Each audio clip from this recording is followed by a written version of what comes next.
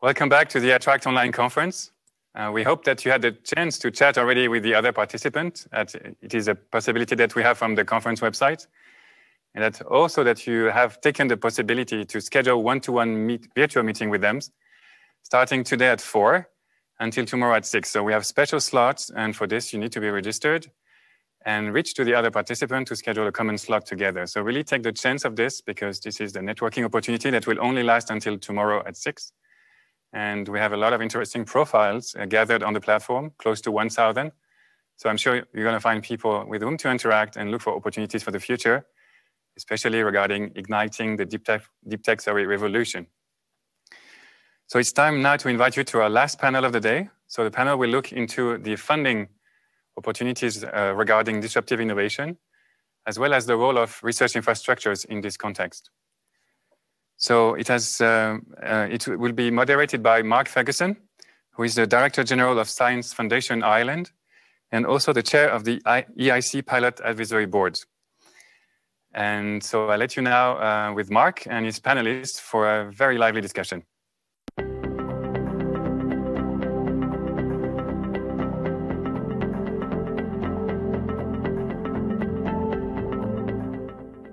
This panel, we're going to discuss about innovation and how we can support innovation in Europe. So I've got a very distinguished uh, uh, group of panelists. I'm going to ask each of them to introduce themselves and say in about a couple of minutes uh, what it is that they contribute to the uh, innovation ecosystem in Europe. Marie, can I start with you first, please? So thank you, Mark, for the introduction, and thanks, guys, for having me here.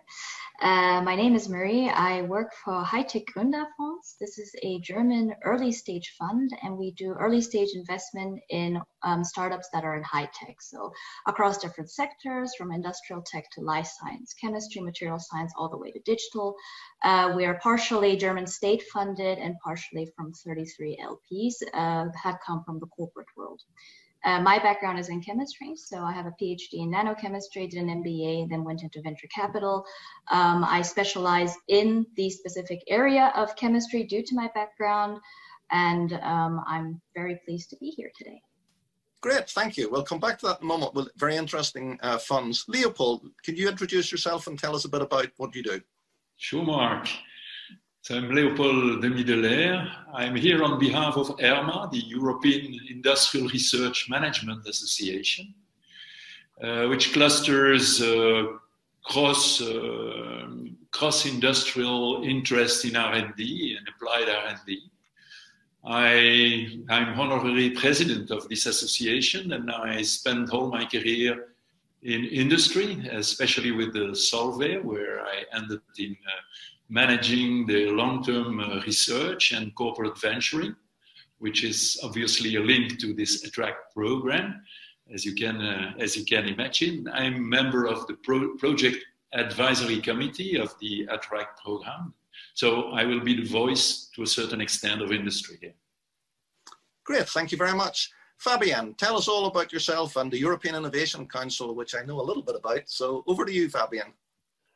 Thank you, Mark, and uh, thanks also for having me here today. I'm Fabienne Gautier, and I work at the European Commission, and I'm um, working in DG Research and uh, Innovation, which is uh, supporting uh, research and innovation all over Europe uh, with its uh, framework program Horizon 2020, and also in the future, very soon, Horizon Europe.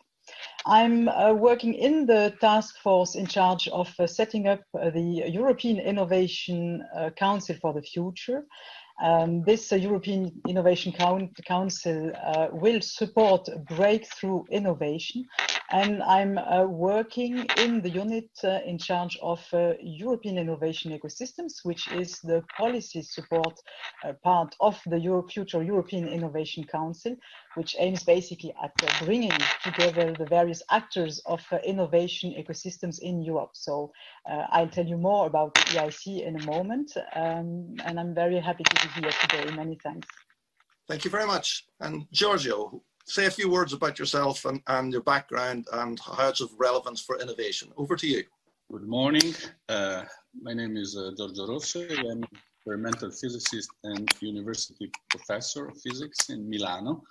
And I've been involved with uh, uh, research infrastructures for a large part of my uh, career, uh, managing infrastructures, operating, but also serving as chair of ESFRI, as well as of chair of a, a high-level expert group that more recently has addressed the best um, possible configuration for of infrastructures for long-term sustainability and for optimized funding. So in uh, all of these, uh, of course, the uh, interface between fundamental research and innovation has been uh, discussed and addressed and uh, uh, some ideas came up that turned out to be innovation in the service of the infrastructures, but also uh, services from infrastructure to help innovation, motivated, of course, by the society and the economy. Thank you. Thank you very much. Um, I'm Mark Ferguson. I'm the Director General of Science Foundation Ireland and the Chief Scientific Advisor to the Government of Ireland. And I'm also the Chair of the Advisory Board of the European Innovation Council. So what we'll do is we'll kick off uh, with a few comments. Touched on here was the importance, and certainly initially, of public funding to support innovation. Uh, Marie, I know the Gründerfonds uh, started with initially public funding and then brought in private funding. Could you tell us a little bit about that, please? Sure, of course. So um, as the name says, well, high-tech Gründerfonds, Gründer actually means foundation or incorporation fund uh, in German. So we were uh, founded in 2005 um, as a public fund that specializes in early stage investments. Um, now we're in our third fund, so we have about 900 million euros under management across these three funds. And our third fund has um, right around 60% funding from the German Ministry of Economics and Finance and um, German state-owned developmental bank, so 60% private, uh, public, and 40% private from 35 corporate um, corporate LPs like Bosch, Bayer, SAP, BASF, Evonik, and the DAX list, plus a couple of um, mid-sized companies. So um, when we were founded, our goal is, was, and still is to support innovation in Germany. But of course, since we're also private now, we have this sort of private um, point of view that we also want to make sustainable investments. So first, innovation in Germany. So really going to research institutions, bringing good quality German research out of universities and beyond, but also with this other um, business sort of aspect. And um, like I said, we're pretty successful. So we've been on the market for 15 years. We've just celebrated our 15th uh, anniversary and um, some of our points for best practice, I guess, uh, why that we're so successful. I mean, this is obviously an ongoing analysis from our side. Is um, I think we're quite unique in um, how decisions are made in our board. So although we're public-private, with public uh, being these, um, you know, the this money from the German state, obviously on our decision-making boards, um, we don't have politicians and bureaucrats, God forbid, sitting uh, on these boards. Not that I have anything against uh, politicians and bureaucrats, but really the German state sort of sends three people who vote on behalf of them and that would be one person who is the director of Max Planck Institute, another so research institute, a serial entrepreneur, serial VC, plus voting from the from the corporate side. So this sort of networking effect with industry as well as a decision-making body that's not all too public. Very good. Thank you very much. That's really interesting. And I guess these public-private uh, uh, conglomerates and, and co-investment really important for early stage high tech and for crowding in uh, further private investment. I mean, that's part of the thinking behind the European Innovation Council. Fabian, you want to tell us a little bit about that and, and how uh, it's hoped that the European Commission can use its funding to crowd in uh, private funding and also to support high-tech early stage uh, um, over to you. Thank you, Mark. Yes, indeed, uh, public funding is key, I believe, in uh, supporting uh, innovation and um, throughout the whole uh, um, innovation chain. Um, and as you mentioned, just it's um, we need investment, and there is in Europe uh, a funding gap uh, on innovation, and also a gap in bridging public funding and also private investment. And I believe that here uh, public funding can play a role um, because um, usually innovation are high risky projects, deep tech, uh, um, um, deep tech projects it's high risky and uh, very often the innovate the in investors are reluctant uh, to support young companies to support high risky projects. And i believe that here uh, public institutions uh, and also the european commission can play a role because we can push the process in uh, supporting uh, innovation in providing funding to it also in attracting investors in a way that through the fact that we support these high risky projects projects and innovators, uh, we de-risk these projects. And that is precisely what uh, the EIC uh, is doing. Uh, the objective is uh, with the EIC to support this breakthrough innovation, to support deep tech projects, and to become for the future in attracting investors to become what we call uh, our EU unicorn factory. So the European Innovation Council has been uh, set up for this purpose. Uh, we have a pilot running under Horizon 2020, and we will have a fully fledged European Innovation Council under Horizon Europe. So how is it working? Basically, through the European Innovation Council, we support innovation from early stage research up to the moment where this uh, research and the innovation reaches the market and we support these projects financially. So here we will provide through the European Innovation Council a mixture of funding where we will provide grants to these early stage projects and the more they get uh, to the closer to the market, we will be able through the European Innovation Council to provide also another type of funding which is quite new under the um, framework programs of research that we are uh, implementing for years. Uh, we will provide the possibility to have uh, equity finance to these projects. And this will uh, attract uh, other investors because we will be those which will step in first uh, in those uh, companies, in those promising companies, and we will also expect we will we expect attracting other investors. We have launched a pilot for the EIC under Horizon 2020 with a budget of 3 billion from for 2018 to 2020 and um, it has been very successful. If we look at the figures from the first calls, which have been um, which have been uh, launched since 2018, we have attracted uh, more than 10,000 applications from startups and SMEs uh, for the EIC accelerator. And we have, uh, through uh, this application, a cumulative budget of, of, of um, request for budget of uh, around 26 billion euros. So you can see here how much money funding is needed in order to support these companies.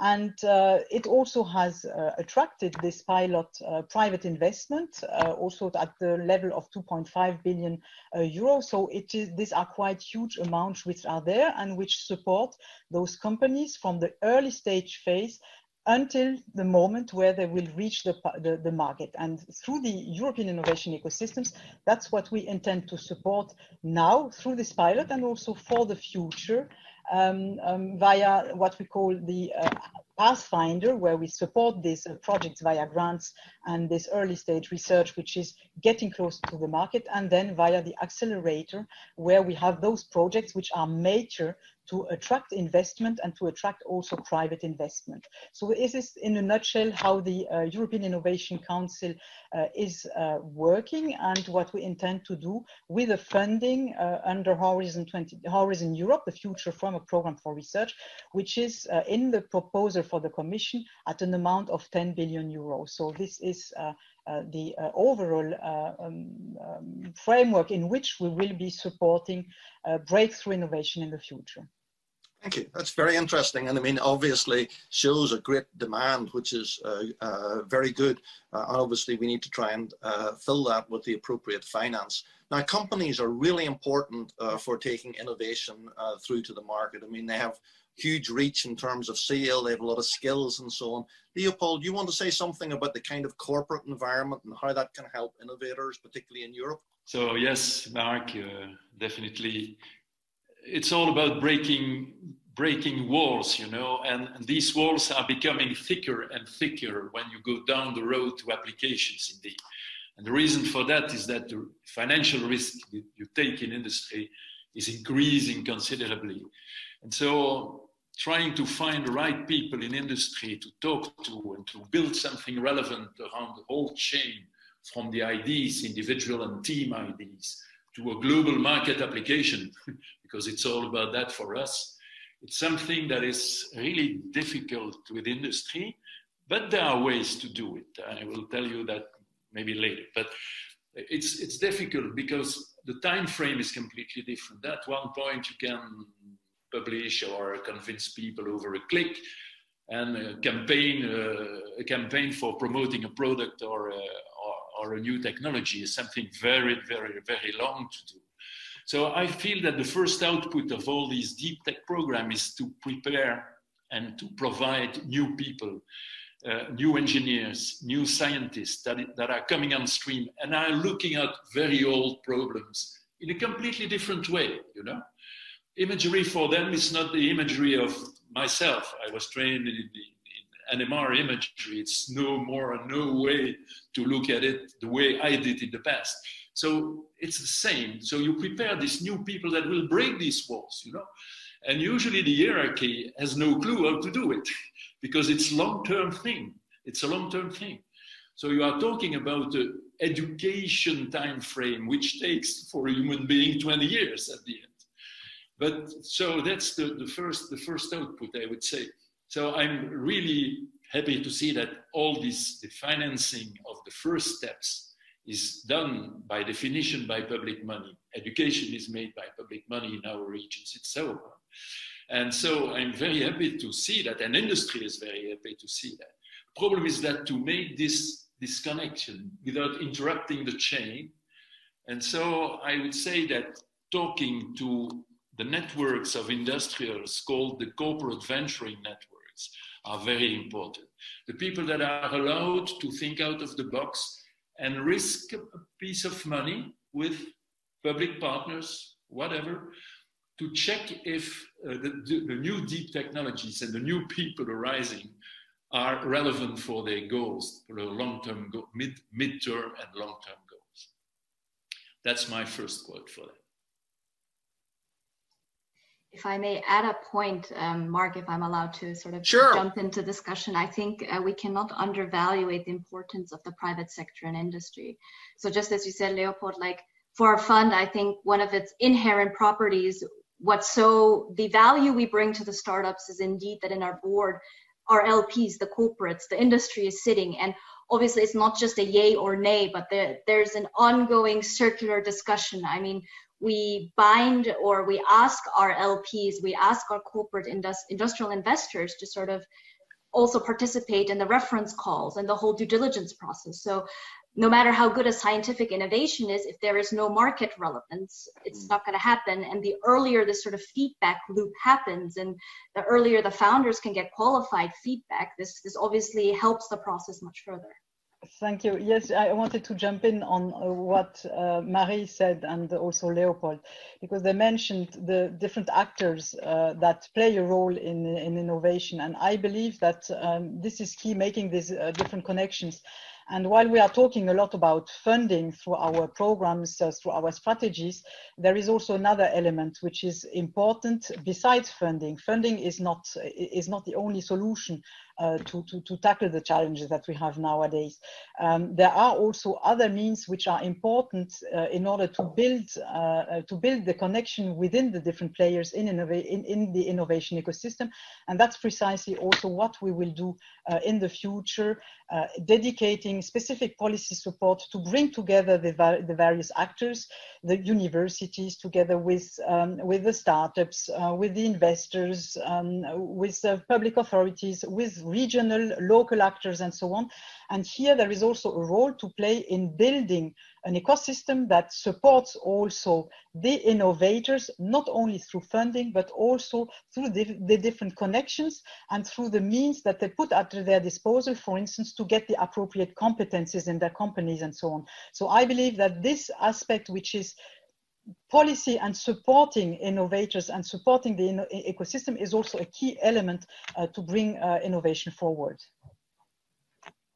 Absolutely, it's all part of the system. Leopold, I'm going to bring you in, and then Giorgio, I'm going to get you to talk about infrastructure and the importance of infrastructure for innovation and access to big kit for some companies. But Leopold, you wanted to react first. Yes, I just jumped in there because I think that the public, uh, public involvement brings more than money indeed. It brings relevance, it brings social relevance because by definition in industry we sometimes are, we have to confess it, blinded by money, you know? And then you, you, bring, you bring something, something more. I often see that in boards for small startups, you, you bring social relevance. You, these big challenges are coming in. Jobs are very important. And all of, the dimensions without, without this dimension, by the way, the project will not evolve in time. It's more than, than money. I completely agree about that. And even in industry, we think like that. It's absolutely more than money. And I was on an interesting uh, uh, call uh, last week with uh, with Eric Schmidt, and he, he gave a quotation. He said, "You know, your happiness is proportional to the quality of your thoughts." So, so if you have great thoughts as an innovator, you can solve social problems and you can make money, but you can also be happy, uh, which is wonderful. Giorgio, you want to talk a little bit about infrastructure and uh, you know how uh, innovators can access that infrastructure, whether it's big kit or maybe a lab uh, space that they need. Yes, thank you. Uh, well, research infrastructures have been uh, built all over the world and with particular attention in Europe to support excellent science, so the so-called curiosity-driven science. So to give to, to European scientists the best possible tools uh, to uh, perform uh, observations, uh, uh, experiments, analysis. And uh, this is the core business. But as the whole ensemble of the research infrastructure grew, it became uh, uh, very uh, clear that they can provide new kind of services uh, by addressing uh, aspects that of complex problems that come from society or that come from economy uh, and that are not of a curiosity driven uh, nature, but are part of uh, uh, issues that the society wants to address. But uh, let me say that, and this is being done by interconnecting research infrastructures by the effort of making uh, all the data of science uh, available uh, through the European Open Science Cloud and uh, um, this kind of uh, uh, approach. But let me say something about innovation. Innovation is about making products or making methods based on existing knowledge. I remember in the very early 80s when I moved back uh, from the US to France. Uh, in the control room of the linear accelerator where I was working, there were touch screens uh, in the control room to open valves to set uh, values of uh, fields and so on. And then it took over 30 years before the touchscreen has become a, uh, daily uh, tool uh, on telephones or on computers, on the car displays, and so on. So uh, the uh, knowledge that was developed for a need at a research infrastructure has been there uh, for a long time and maybe too long. Maybe it would have been good if there were activities favoring the uh, idea that this technology could be captured for other uses that were not only you know synchronizing in the best way and simplifying the work of operators of complex uh, uh, physics uh, um, instruments. And if i am allowed just to make one uh, example of something that is happening nowadays that happened uh, last years uh, in the construction of research infrastructure in Brazil, the National Synchrotron, CIRIO, they uh, needed to do everything at home because of uh, political and uh, economic reasons. And as they are ambitious and they have built a top world top uh, level facility ranging uh, in the same class as the European synchrotron radiation facility, uh, they needed to uh, train industry, local industry. The Sao Paulo state is very strong in engineering, but still they did not have the competence to build such a sophisticated uh, accelerator system. And so they trained 20 to 25, I forget the exact number, companies to produce and then what they needed.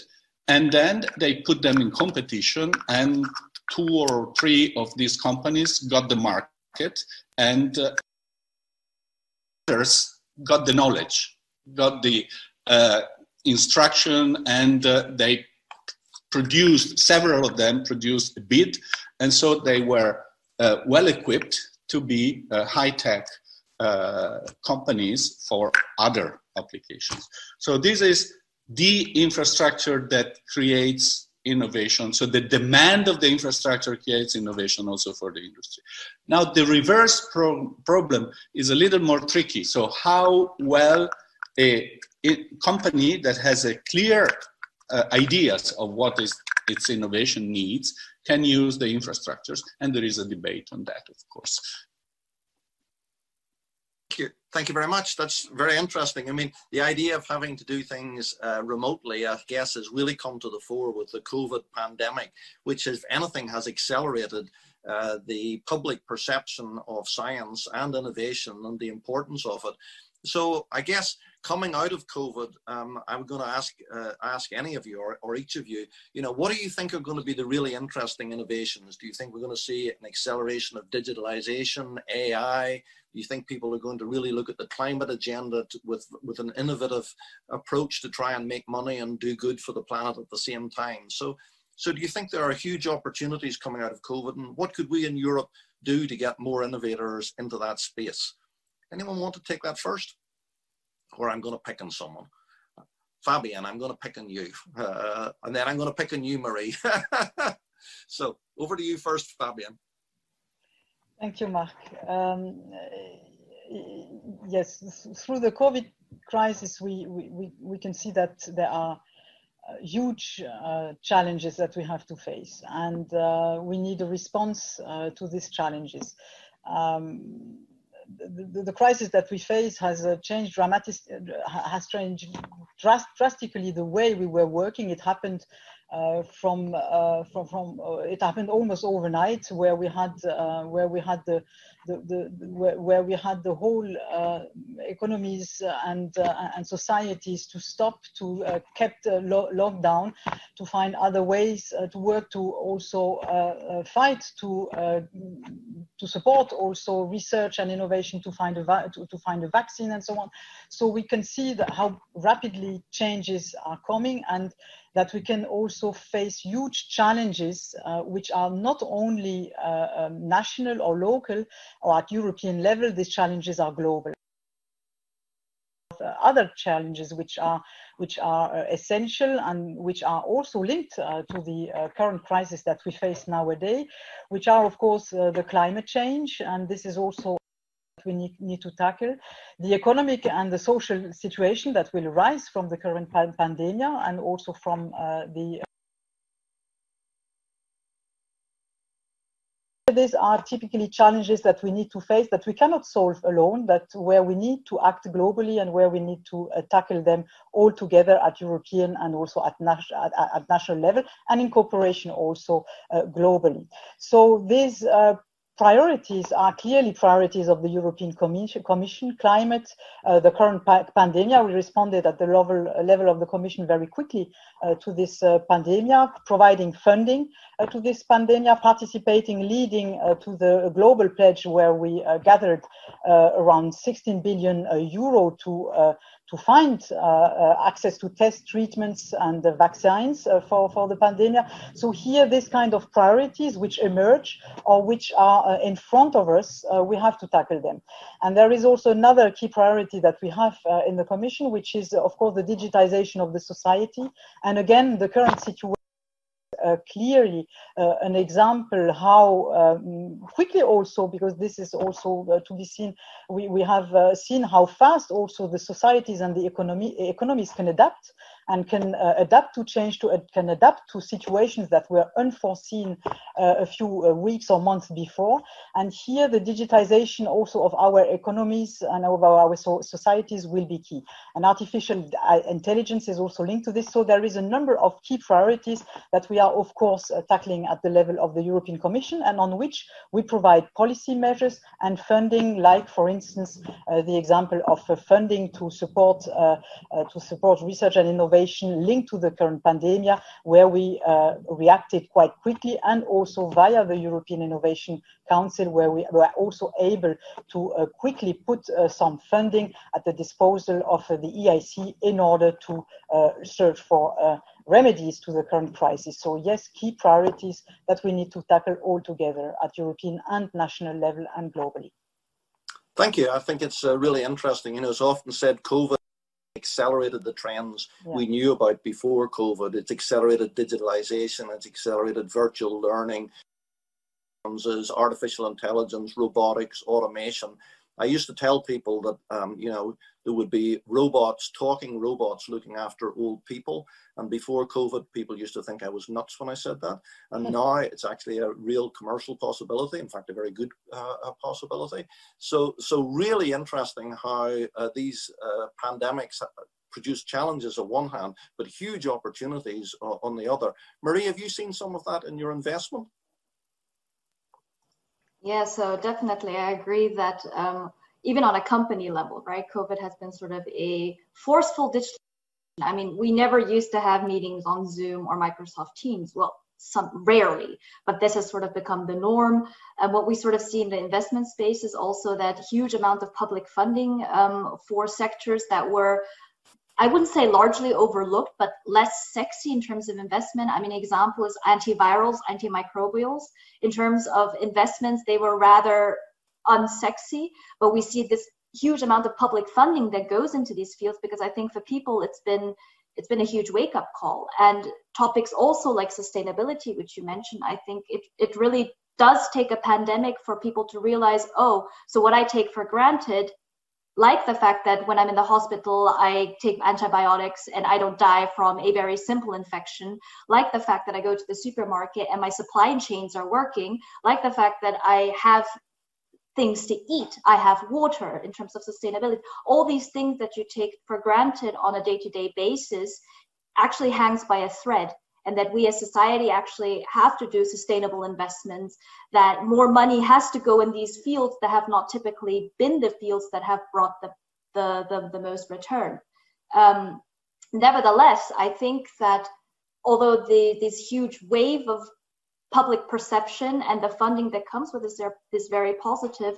Obviously, you also have to look at uh, issues like IP transfer from research institutions into startups. So you are putting a lot of money into research that is going to incentivize people to spin out. However, there are certain steps in between that and something becoming a sustainable startup that is going to make a part market impact. And for me, that's really the topic of, well, first of all, the founders being able to structure a business plan, the founders getting out of there, but also the universities and the founders coming to a good consensus what it takes for the IP to spin out of research institutions, because obviously the IP has been made within the research institutions and the conditions thereof for it to go into the market also has to be profitable and favorable for the founders, for the research institutions, obviously, but also investors that come in and invest in that kind of company. Very good, thank you. I, I agree. I mean, it's interesting during the, the Corona crisis the, in Science Foundation Ireland in uh, February, we did, I think, on average, four uh, video conferences, Zoom calls per month.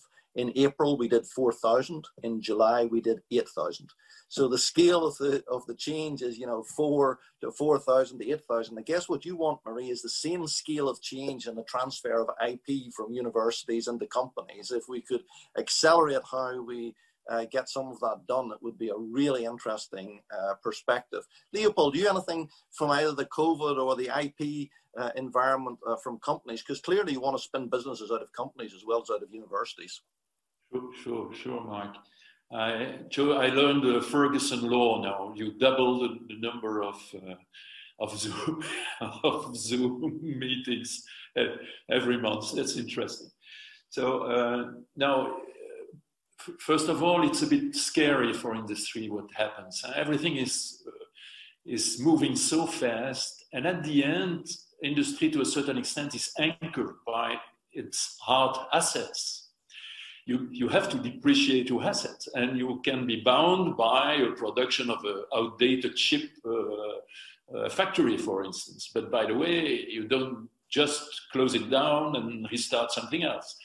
So there is a, a, a time, a timing issue there that makes industry to a certain extent very scary. And second thing that makes it scary is this necessity now to work cross boundary in industry look at medtech, it's uh, absolutely uh, obvious. If you don't link, uh, link physics to med medical applications, to instrumentation, to mathematics and smart, smart statistics and all these things, you just end in nothing.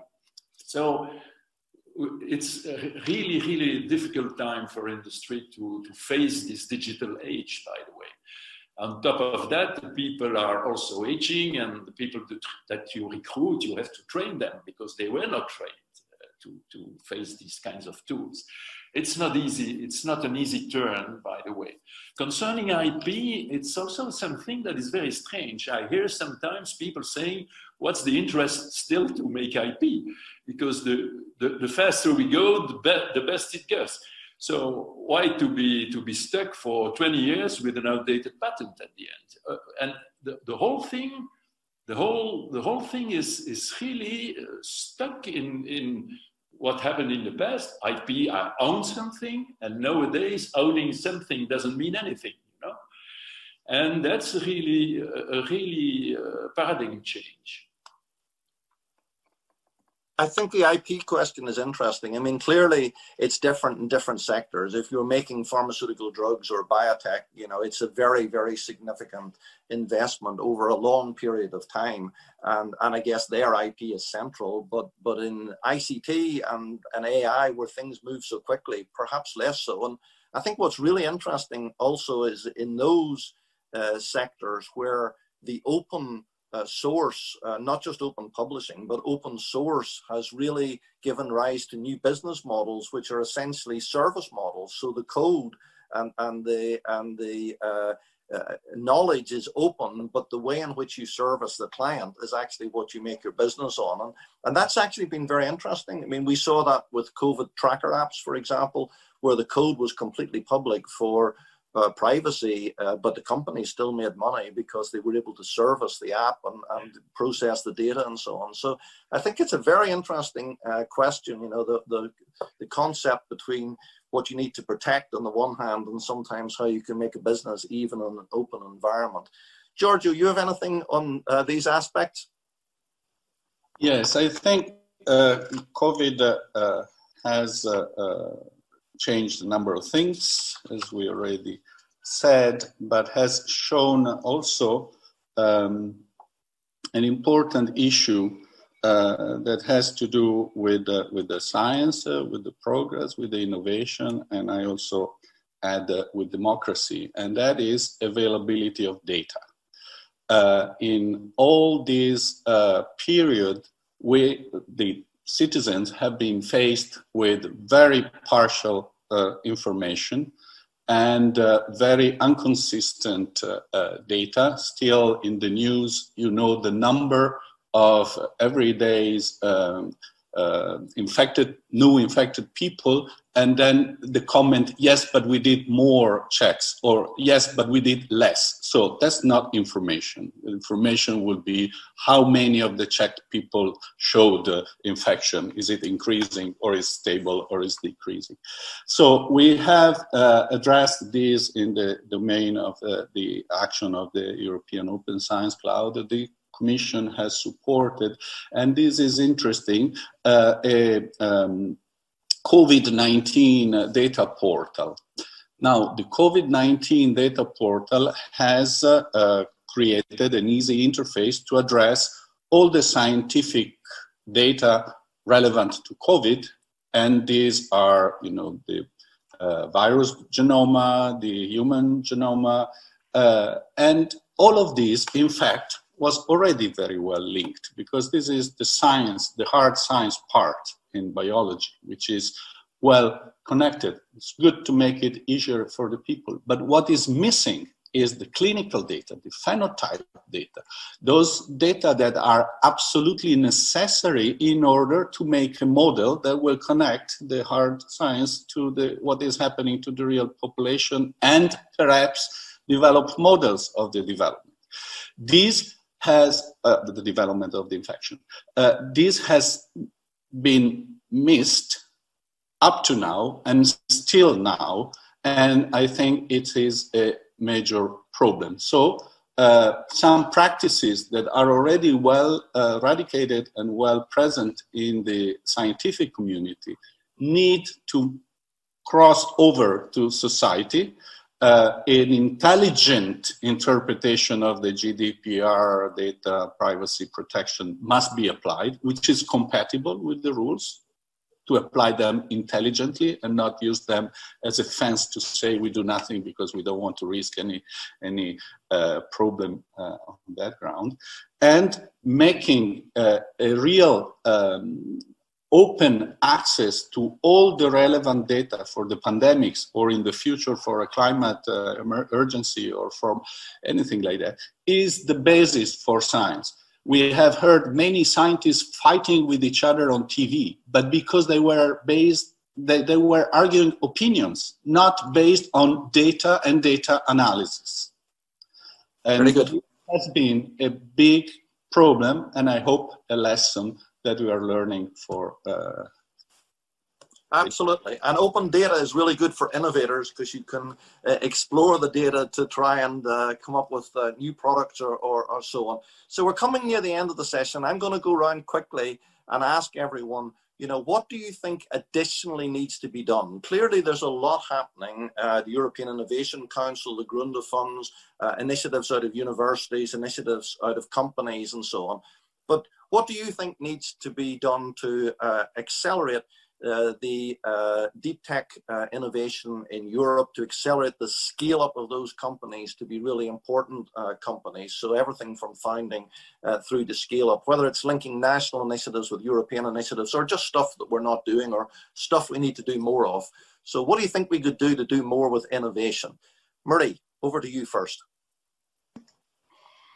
I think that's a very multifaceted question slash problem. So First of all, I think the buildup of a intertwined ecosystem is first of all necessary. So I think the problem right now is that, well, it also has inherently to do with the European financial slash regional landscape as well, how your European Union is also structured. We, we kind of compare ourselves to the US, but we're not the US. We're actually different countries with their own sovereignty and all rules and regulations and financial laws and innovation landscape. So we, we do need that one sort of headquarter where we can bring different things together. I, I know this is in the works and this is sort of developing, but obviously once, you know, it becomes easier for all these stakeholders to know, okay, I go to this one website or one place and I get all the information I need in, in one pit stop, everything from grants to business plan modeling to, to IP and whatnot, scale up XXYZ then obviously this is going to help the process and make it easier. Um, point one.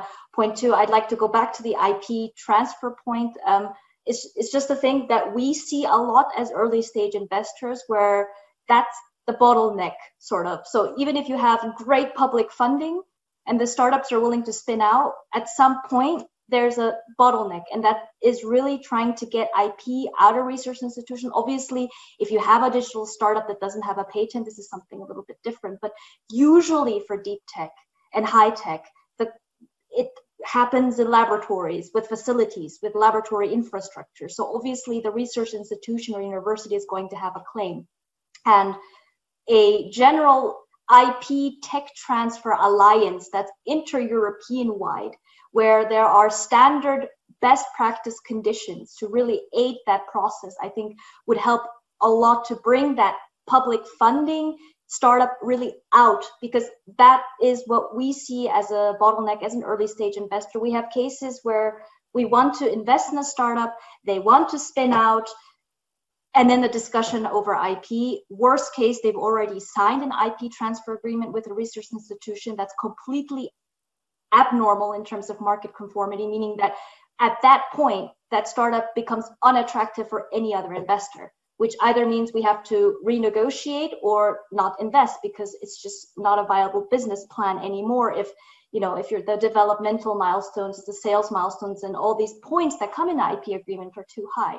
So that's the worst case. The best case scenario is we actually go in with the founders to try to help them structure this sort of ip agreement um, which is not trivial which takes weeks and it's it just would uncomplicate a lot of the process Great. So you would like a one-stop shop. I guess, Fabienne, in due course, you'll be telling us the European Innovation Council aims to be that. And, and Marie, you'd also like uh, easier uh, tech transfer. I used to be very fond of saying, and still am, that if you look in America, most uh, founders who've uh, grown successful businesses give the university much more money in a donation than you ever tax them on the IP. I think that's always useful to bear in the back of your mind. Leopold, what would you do to improve uh, tech uh, and innovation in Europe?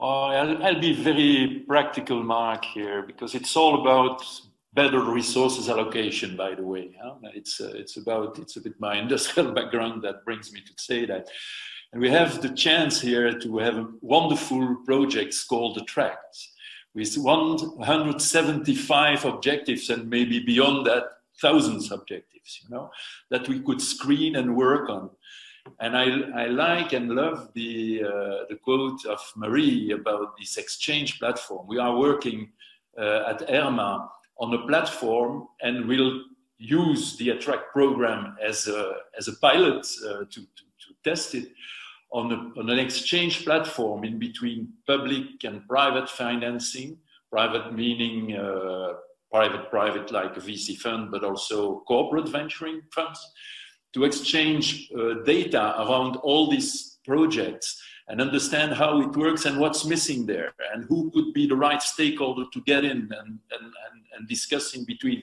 all the people in, the, in a platform on a platform called flow that we will use there. We'll try to make this exercise very practically successful. That's i would i would do great thank you very much indeed giorgio what would you do uh, what would you do to try and improve innovation and tech in, in Europe?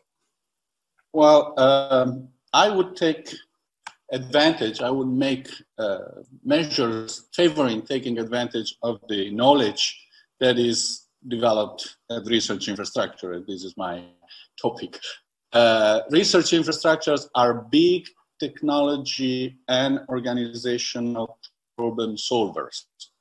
Uh, people working at research infrastructure uh, are used to invest millions, tens of millions, occasionally hundreds of millions uh, in, in a, per year uh, to build something or to organize something that was not built before or was not organized that way before. So, uh, job uh, headhunters from industry should look at those people because those people can be extremely helpful in an innovative uh, environment uh, with the economic or social scope, not only uh, pure research scope. And so training, let's say, is, is a big, uh, is a big uh, uh, title that science can contribute to the society beyond doing good science, which is, of course, the, the fundamental scope and the fundamental important things. Great. Um, that's very good. So we should send the headhunters in to look uh, when we're doing tech augmentation to the uh, research infrastructures for the problem solvers who are engineers and can solve the problems. Fabienne, I'm going to give you the last word on what you would do to improve uh, the European innovation landscape. Over to you we have conducted in order to define our policy for the future and what we could do through Horizon Europe in the future, we have launched a public consultation. And there were three main elements uh, that uh, the different players of innovation ecosystem have mentioned to you. So what can we do in order to foster innovation, First of all, of course, uh, capital funding is key. We need to have to provide continuous funding uh, to our innovators. Then I also mentioned it before, we need to bring them together. And this was uh, said by Leopold Marie as well, that we need to connect these different uh, actors, investors, uh, innovators, education. We need to bring them together and to, to connect them and to provide them the means, the platform in order to exchange uh, their experience, in order to uh, bring their innovations to the market. And also an important element which has been, which has been indicated was that we need the right competences as well to uh, innovate. And this is key uh, in the educational process. This is key in fostering also the entrepreneurial culture that we have among young people. And this is also key to have the right competences. And I think it is um, um, um, um, um uh, Giorgio also who mentioned it, or, or, Leopold, that these competences are key in order to, uh, to, to, to, make this innovation uh, flourish and also to get to the market. So here we have this, according to me, these three elements which are essential. And uh, in talking about competences and talking about um, the, the, people who innovate, I believe that uh, also uh, Attract, for instance, is a very good example because in the Attract, Attract project, they have brought young people from a different age, different background, different experience, in order to uh, think about how these deep technologies could also be useful for the society. And this diversity of research teams, of innovation teams, according to me, is essential also to bring new innovations to the market. Which maybe as a last word for me would be important is that we uh, also should keep in mind that um, having these different aspects is uh, also clearly linked to the fact that we need the people, we need to put the people at the core. Those who are facing the current crisis are the people, those who are trying to find the solution are the educators, are the uh, uh, researchers, are the innovators, and those who try to bring them to the market are the businesses, the investors, and we always come back together, to come back again to the people who make this innovation uh, ecosystem grow and who make this innovation ecosystem a success. So that would be my last word that we keep uh, our uh, that we keep research and innovation and the people who build them uh, at the core of our strategies and policies and also to whom we direct also our policies. Very good. So very people-centric uh, view there. It's really interesting. You know, the diversity piece is really important. You know, if you want to be innovative and think left field and out of the box, then you need a diverse group in order to uh, inform uh, that. And that may be diverse in lots of different ways, background, experience, uh, gender, geography, uh, uh, whatever.